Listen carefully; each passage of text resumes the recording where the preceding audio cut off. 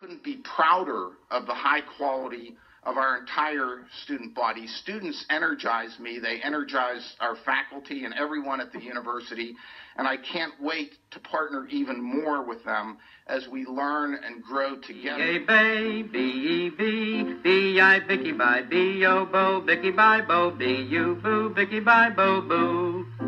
C A say, C E C, C I Sicky Sai, C O So, Sicky Sai So, C U Sue, Sicky Sai So Sue. Get the idea, girls? Now we'll all join together on the letter D.